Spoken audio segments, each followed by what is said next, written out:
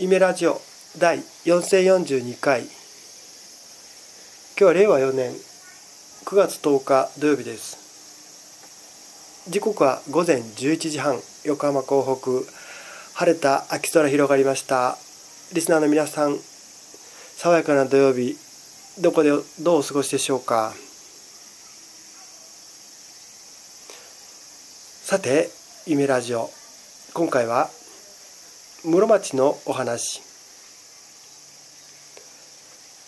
大物崩れで倒れた浦上村宗。こんなタイトルでお話しましょう。大物崩れで倒れた浦上村宗ですね。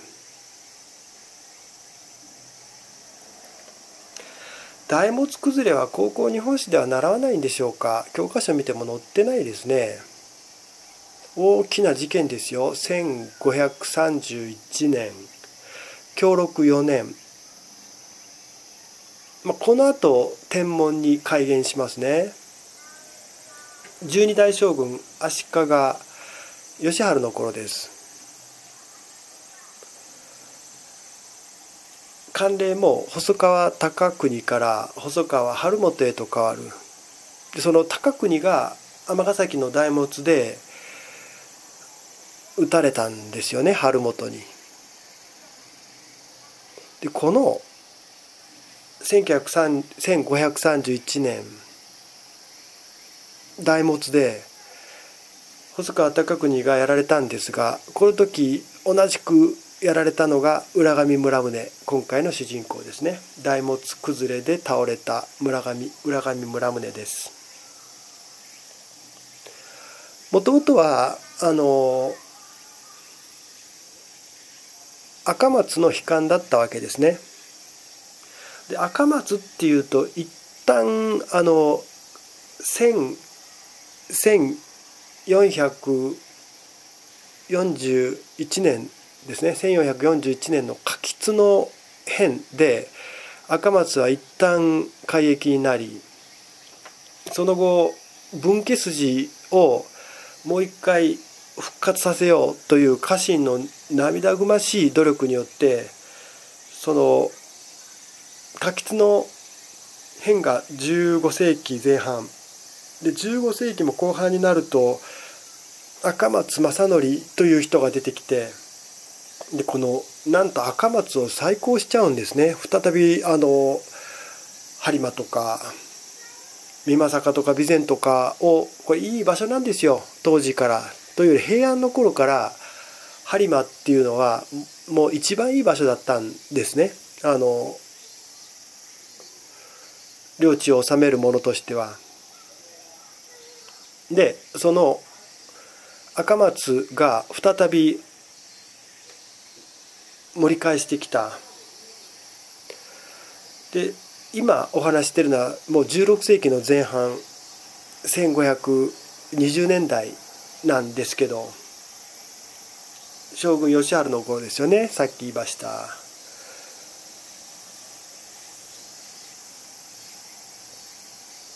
当時ですねあの赤松義村って人が赤松義村って人が赤松家当主。けれどね実はあんまり力がなく吉村は。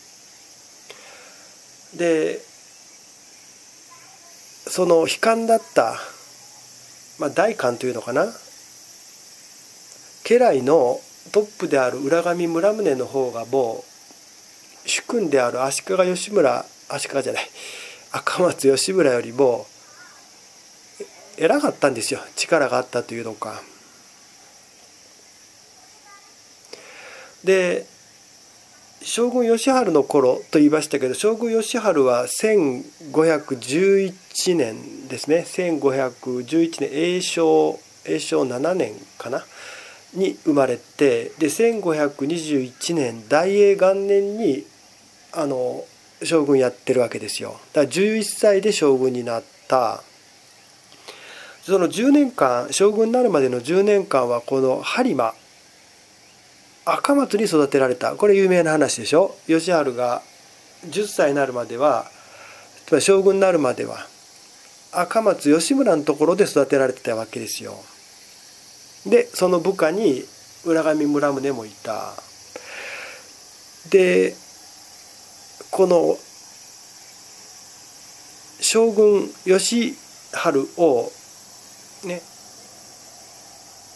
慣例細川隆国の招きに応じて赤松としては京の都へと送った実はこれが赤松義村としては運の尽きだったんですよ。義治を手元に置いておく限り義村は安全だったの。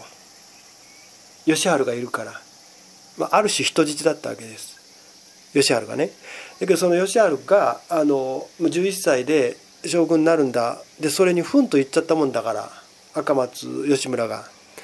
そうすると、まあ、赤松義村人質放り、ね、人質をなんかあの放り出したみたいな。するともう赤松義村単体では実はものすごく弱い主君で。で今回の主人公浦上村宗がこの赤松義村を亡き者にしそして自分がこの浦上村宗があのもう播磨をそして備前を美作を自分のものにした。だから赤松義村の子供で赤松正村っていたんですけどその正村を飾りのつまり子供のね正村を飾りの当主にして実権はもう浦上村宗が握っていた。これが20年代で1520年代。で義治はっていうともう京都で将軍やってる。でそれを細川隆国が支えてるわけですね。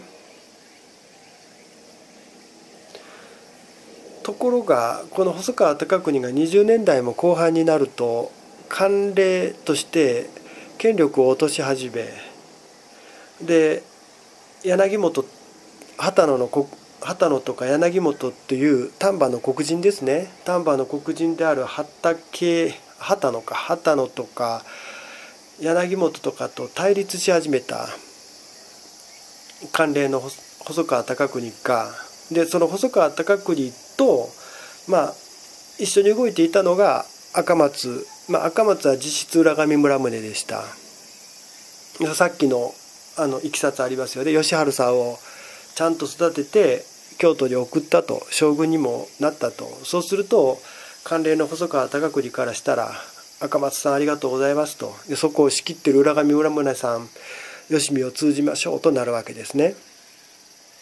ところがその細川隆国があの丹波の黒人たちと仲悪くなって何より阿波にいた細川のもう一派細川慶長家のもう一派細川春元そして三好元長彼らが足利義経を押し立てて出張ってきたわけですね堺へ。堺幕府です。でこの堺幕府が1527年ですから大英から強禄に変わる頃。そうすると細川隆国はこんな圧迫を受けて京都にいられなくなりますね。高国はその後放浪します。がその間にもいくつかの戦いはありそして丹波の黒人である柳本片春を討ち取りという感じで高国の方もねあのそれなりにこうやり返してもいる。で浦上村宗はその高国を援助と。ところが1531年6月5月ちょっと暦の数え方でどっちかになるんですけどまあ季節のいい頃ですよね大物ってところで細川隆国は負けた。でなんで負けたかというと浦上村宗があの討ち取られたんですよ。赤松正村に。赤松正村っていうのは吉村の子供です。ってことは自分の父親である赤松義村を浦上村宗という家臣にやられてるつまり父親の敵なんですよ。浦上村宗は。政村にとって。でまだ子供だったからこの野郎と思いながらも上に持ってこざるを得ない浦上村宗を。けれどこの1531年の時今だと政村は思ったこの瞬発力はすごいですよね。今浦上村宗軍が孤立してると高国軍の援軍もないとここで父の仇をでこの浦上村宗がやられたつまり関連細川高国からしたら非常に重要な軍事パートナーでもあった浦上が倒れた。それで細川高国も逃げきれなくなったわけです。